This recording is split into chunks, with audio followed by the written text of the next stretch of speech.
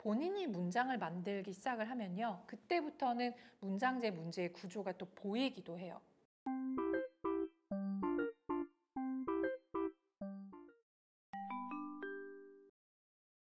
자, 그러면 이제 오늘 내용의 하이라이트, 그럼 문장제 문제는 어떻게 공부해야 될까에 대해서 말씀을 좀 드려보도록 할게요. 일단 첫 번째, 우리 아이들의 공포감을 줄이는 것부터 시작을 하셔야 될 것 같아요. 자, 아까 전에 좀 전에 제가 수학 동화 말씀을 드렸잖아요. 수학 동화처럼 아이들이 문장제를 스토리로 받아들이게 되면 이거는 일차적인 성공이라고 보시면 되게 좋을 것 같아요. 아이들이 기본적으로 문장제 읽다 보면 별거 아니네 라는 생각을 하기 시작을 해야 도전할 수 있잖아요. 그래서 처음에 공포감을 줄이는 게 굉장히 중요하다. 그래서 스토리의 일부다. 그래서 수학 동화 같은 문제집들을 수학 동화 같은 것들을 조금 평소에 접하게 하시는 게 굉장히 큰 도움이 된다. 이게 이제 첫 번째고요. 두 번째는 아이들이 실력이 없어서 문장제를 못한다고 말씀드렸죠. 자, 여기서 중요한 거. 그러면 수학 공부는 뭐부터 준비를 해야 되냐? 수학은 기본적으로 계산, 연산부터 시작을 해야 됩니다. 자, 그런데 여기서 또 연산을 무작정 문제집만 으로 시작하는 거가 별로 좋은 방법이 아니라고 제가 여러 번 말씀을 드렸는데요. 계산에도 원리가 있다는 것을 아실 거예요. 우리 아이들이 처음에 교과서에서 덧셈을 배울 때 처음부터 플러스를 어떻게 이용을 하는지를 배우는 게 아니라 가르기, 모으기 이런 것부터 시작을 하잖아요. 그래서 눈에 익게끔 왜 이거랑 이거랑 더하면 이렇게 되는지를 실제적으로 원리를 이해해야 그리고 덧셈들이 똑같은 수를 더하면 왜 곱셈이 되는지 원리를 이해를 해야 실제로 연산 문제들, 계산 문제들을 풀 수가 있거든요.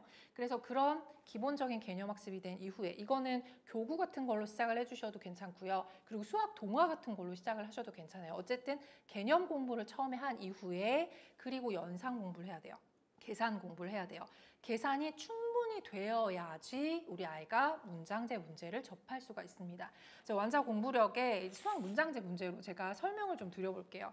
자, 여기 문제집을 이렇게 펴시다 보면은 많은 분들이 관심 있게 보시는 문제집인데 제가 처음에 좀 인상적이었던 게 여기 처음에 각 단원이 시작하기 전에 기본 문제로 문장제 준비하기라는 파트가 있어요. 저는 이게 문장제 문제에서 굉장히 중요한 파트라고 생각을 하거든요. 왜냐하면 우리 아이들이 기본적인 실력을 가지고 있는지를 알아야 어, 문장제를 시작할 수 있어요. 아까 말씀드렸죠. 문장제를 처음부터 그냥 막 시작하는 게 아니다. 우리 아이들이 문장제를 시작할 준비가 되었는지를 파악을 하셔야 준비가 됐다면 이제부터 문장제를 풀기 시작을 해야 된다는 거예요. 그럴 때 우리가 기존에 풀고 있던 계산력 문제집, 문, 연산 문제집을 가지고 충분히 잘했다.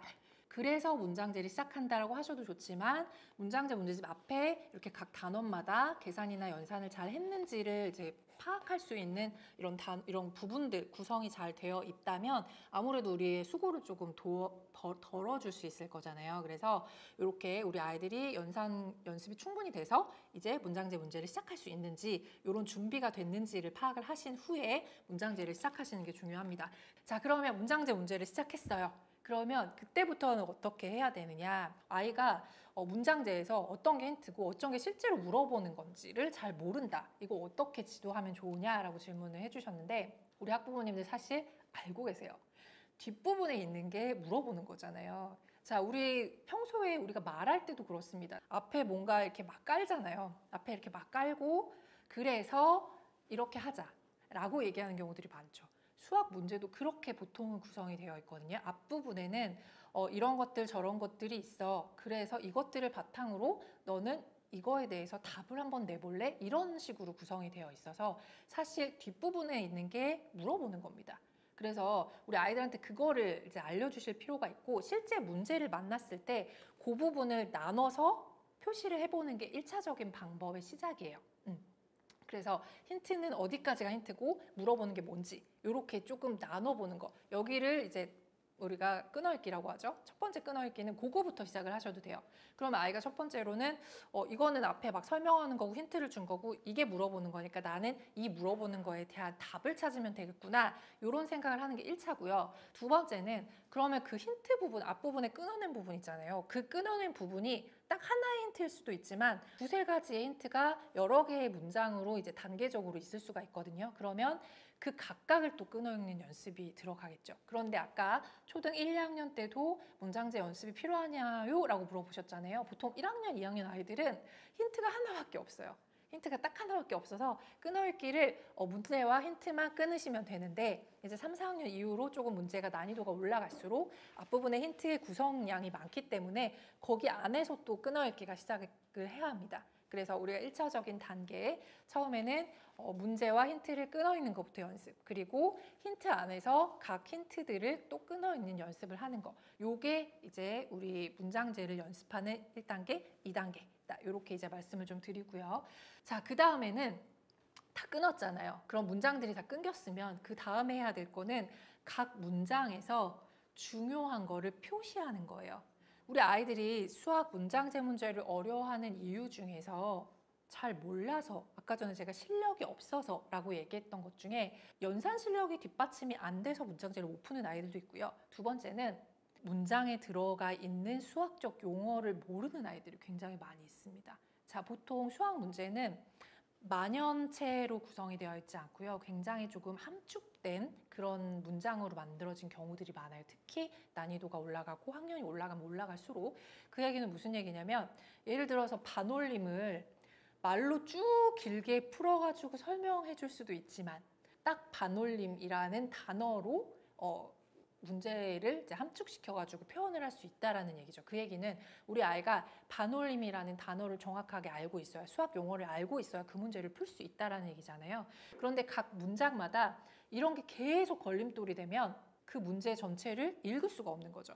어떻게 보면 한글이니까 읽을 수는 있어요. 근데 그게 문해력이 딸리다 보니 무슨 내용인지 이해가 안 되는 상황이 되는 거예요. 자, 그래서 정리. 자, 우리 아이 첫, 처음으로 문장제 문제 접근하기 시작했을 때 첫 번째는 힌트와 실제 문제를 나누는 게 1단계. 2단계는 힌트 안에 있는 문장들이 여러 개라면 각 문장을 또 끊는 게 2단계. 3단계는 각 문장 안에 있는 수학 용어를 동그라미 치는 거. 그리고 그 동그라미 친 용어를 잘 모른다. 그러면 수학 사전이나 교과서를 통해서라도 그 용어가 의미하는 수학적 의미가 개념이 무엇인지를 공부하고 나서 그리고 나서 문장제를 풀어야 돼요. 그래서 그 문장제에 어, 담겨진 의미 이런 것들을 파악할 수 있어야 이제 우리 아이들이 실제로 문장제 문제를 이제 문해할 수 있게 되는 거죠. 그리고 네 번째 단계는 뭐냐면 자 각각의 용어들은 알았어요. 수학적 용어들은 알았는데 그 안에 들어 있는 표현을 잘 모르는 경우들이 있어요. 자 이게 무슨 얘기냐면 제가 다시 요걸 가지고서 한번 얘기를 해보도록 할게요. 자 여기서 어, 지금 이게 3, 5학년 2학기 내용인데요. 여기 보면은 네모의 세모 배는 이라는 표현이 들어가 있죠. 아이들이 네모의 세모 배라고 나와 있으면 네모의 세모 배라는 걸 한글로 읽을 수는 있잖아요. 근데 네모의 세모 배가 식으로 표현했을 때 어떻게 표현을 해야 되는지를 모르는 아이들이 또 있어요.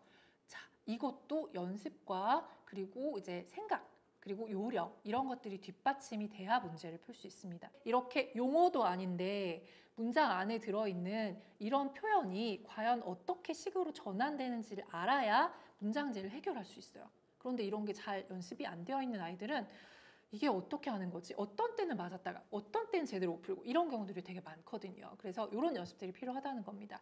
그래서 요 완자 공부력, 요 문장제 문제집에서는 굉장히 재미, 좋은 게 이것만 알자라는 구성으로 매일 두 개 정도의 이것만 알자가 들어가 있어요. 하루 네 페이지 공부하도록 구성이 되어 있는데 그래서 이렇게 표현되어 있으면 식으로는 이렇게 바꾸는 거야 라는 것들을 이렇게 알려주고 있거든요. 그래서 아이들이 하루에 두 가지 표현들을 읽히, 익힐 수가 있는 거죠. 그러면 적어도 이 학년에서 이런 표현이 나오면 어, 이때는 식을 이렇게 바꿔주는 거야 라는 것들을 익숙하게 공부할 수 있게 되고요. 그리고 이거를 학년별로 쭉 만약에 공부하게 되면은 이런 표현이 2학년에서만 중요한 거 아니거든요. 5학년 때 이 표현을 배웠지만 이 표현이 6학년 문제에 나올 수 있겠죠, 당연히. 그리고 2학년 때 배웠던 표현이 또 3학년, 4학년 올라가면서 계속 또 활용될 수가 있어요. 그래서 이런 수학적인 표현들, 수학 용어는 아니지만 문제에 나오는 표현들을 식으로 바꾸는 이런 표현들을 많이 알면 알수록 그리고 이거를 꼭 외워야지라고 생각을 한다는 게 아니라 문제에서 여러 번 접해보면서 익숙하게 되면 되, 될수록 우리 아이들이 수학 문장제를 해석할 수 있는 무기들이 많아지는 거예요. 그래서 그런 것들을 훈련을 시켜주시면 좋습니다. 자, 그래서 정리해보면 우리 아이들 문제와 아닌 거 구분하기, 끊어읽기, 용어 챙기기, 그리고 또 표현 챙기기. 여기까지 연습을 하시고 나서요. 표현이 익숙해지고 용어를 알게 되면 이제부터는 각 문장을 식으로 바꾸는 연습을 시키셔야 돼요. 자, 우리 아이들이 사실은 문장제를 보고서 생각보다 어렵지 않네? 라고 생각하는 가장 어, 흔한 그 사건이 뭐냐면 이 문장을 식으로 바꿔서 식만 쫙 봤더니 평소 풀었던 식이야. 이렇게 이제 만났을 때 생각보다 문장적 어려운 거 아니었네. 내가 평소에 풀던 거랑 똑같은 거네. 이렇게 생각하면서 이제 공포심이라든가 이라든가 어, 겁이 조금씩 줄어들기 시작을 하거든요. 그래서 기본적으로 우리 아이들이 어, 문장을 식으로 바꾸는 연습들을 시켜주셔야 돼요. 그런데 이거는 처음부터 이제 서술형처럼 축축축축 쓰는 거를 기대하시지 말고요. 처음에는 우리 아이들이 문장 하나를 식으로 바꾸는 거, 또 문장 하나를 식으로 바꾸는 거, 이거를 잘 하는지만 파악을 해보시면 됩니다. 우리 아이들이 기본적으로 문장을 식으로 바꾸는 단계까지만 해도 잘하고 있다. 근데 그 식으로 바꾸는 게 이제 어떻게 보면 기계적이라는 표현은 저는 그렇게 좋아하진 않습니다만 보자마자 바꿀 수 있는 그런 능력을 갖게 되면 그 다음부터는 아이가 그냥 그거를 어, 좀 더 유려하게 바꾸는 연습들이 좀 필요해요. 그래서 이제 문장제 문제집 같은 경우에 이제 서술형 문제집이랑 같이 이제 이제 혼용돼서 쓰이는 경우들이 있죠.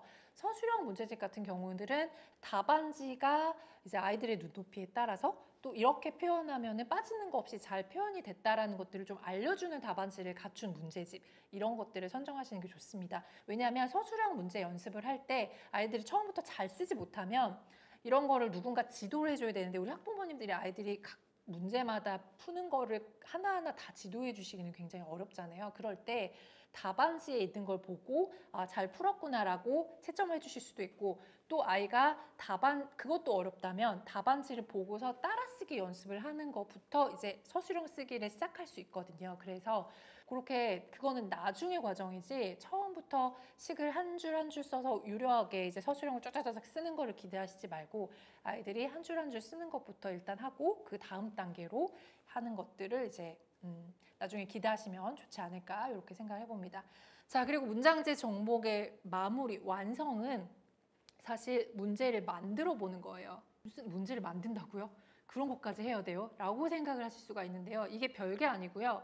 우리 아이가 평소에 푸는 계산형 문제 있잖아요. 계산형 문제를 내가 문장제로 한번 바꿔보는 연습을 해본다는 얘기예요. 이거는 꼭 글로 쓰지 않아도 괜찮거든요. 예를 들어 아주 쉽게 설명해드리면 2 더하기 3은 5 같은 그냥 계산 문제를 문장제로 바꿀 수 있잖아요. 내가 두 개의 초콜릿을 갖고 있었는데 동생이 세 개의 초콜릿을 갖고 있다면 우리 둘이 함께 가지고 있는 초콜릿은 총 몇 개일까? 이렇게 문장으로 바꿀 수 있는 거죠. 본인이 문장을 만들기 시작을 하면요. 그때부터는 문장제 문제의 구조가 또 보이기도 해요. 자, 여기까지 문장제 문제는 이렇게 공부해야 됩니다를 말씀을 좀 드렸어요.